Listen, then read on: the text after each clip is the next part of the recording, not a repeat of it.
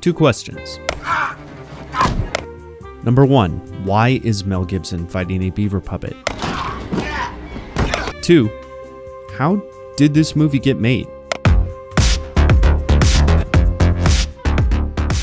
The Beaver is a 2011 dark comedy about depression. It is so pitch black dark, it's basically a drama, with a talking beaver puppet. The movie was not a hit. It was a failed comeback attempt for Mel Gibson after anti Semitic tirades, DUIs, and allegations of abuse. But you can't forget that this movie is deeply, unflinchingly weird. It got made at a time when the top 10 movies at the box office were all parts of larger franchises. You guys really look great together.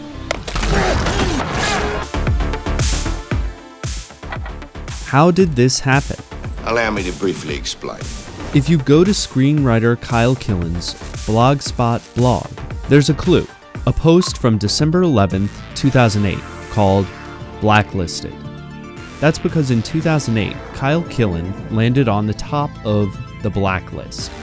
Since 2005, a survey called The Blacklist has recorded the most liked, unproduced screenplays bouncing around Hollywood. Industry insiders submit their favorite unproduced screenplays, and then the anonymous votes are tallied and published. It's that simple.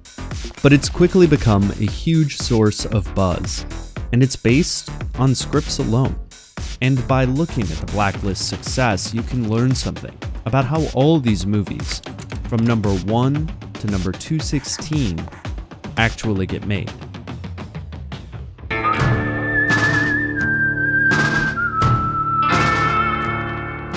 When Franklin Leonard started his blacklist survey, he didn't have a master plan, just a big idea. You have a much greater chance of making a great movie with a great script than you do if you don't have one.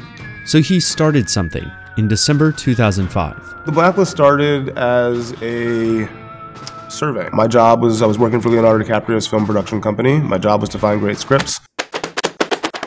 I felt like I was doing a very bad job at my job. I wanted to do a better job. I sent an email to 75 of my peers and said, send me a list of your 10 favorite screenplays that haven't yet been produced, and in exchange, I will send you the combined list. They all voted.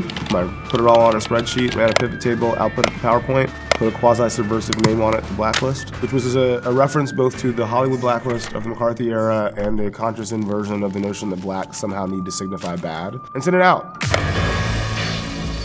I think that the blacklist only could have come into existence at the time that it did.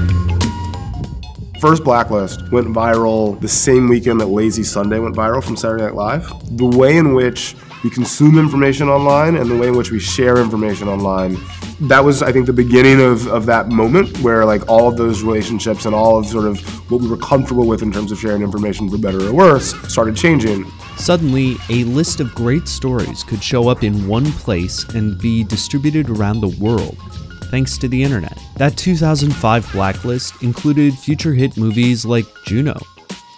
But to understand its real influence, you have to go beyond the list. Let's say getting a movie made requires a certain amount of buzz. Let's make the metaphor really literal here. Take 2011's top movie, Harry Potter and the Deathly Hallows, Part 2.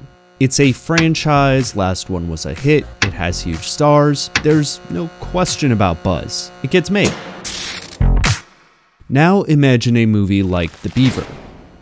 I think it's important to remember that every year there are something like 50,000 screenplays registered at the Writers Guild every year. If you are a particularly industrious reader, maybe you'll read a thousand screenplays a year. So obviously there's a gap of some 49,000 scripts just in that single year that are submitted to Hollywood generally that you're not going to read. Now, The Beaver was not plucked from nowhere. Kyle Killen had representation, and it had been picked up by a production company. Steve Carell was even attached before the 2008 Blacklist came out. But this movie was not Harry Potter. Winning the Blacklist made the buzz public, and at the same time, sustained that buzz through actor and director changes. It kept going until a movie about a talking beaver puppet improbably, miraculously, actually got made. We just say, send us a list of your favorite screenplays that haven't yet been produced. you end up with a list that includes everyone from Aaron Sorkin and David Benioff, and people who literally this is their first screenplay and they've just arrived in Hollywood or they're still living outside of LA. Kyle Killen was not yet a Hollywood insider, but the blacklist clearly helped his movie keep buzzing. Dissecting hype is hard. Take 2012's Argo. It got 28 votes on the 2010 blacklist. It already had a reputation. It was based on a great 2007 Joshua Bearman Wired article, optioned by George Clooney. They got former CIA agent Tony Mendez involved, so it had energy, but the buzz kind of leveled off. Then, after the 2010 Blacklist came out, Ben Affleck decided to direct. The Blacklist didn't make Argo or Juno happen, but it got the script's notice. It didn't single handedly greenlight the hundreds of movies it's featured. Some you've heard of, some you haven't. But it has amplified buzz that isn't about big stars and amusement park ride adaptations, toy friendly sequels, or superhero franchises. It's buzz about words, stories. Today, the Blacklist is a well oiled machine, including its own podcasts, events, and online submission network. And it's all focused on generating hype about writing. I know when I am reading a good script because the rest of the world ceases to exist. And when you're finished, you're a little sad because you don't get to spend any more time in that world and with those characters. The Beaver was not a box office hit. It ended up in 216th place in 2011. The Rotten Tomatoes rating? 61%. Fine, but not great.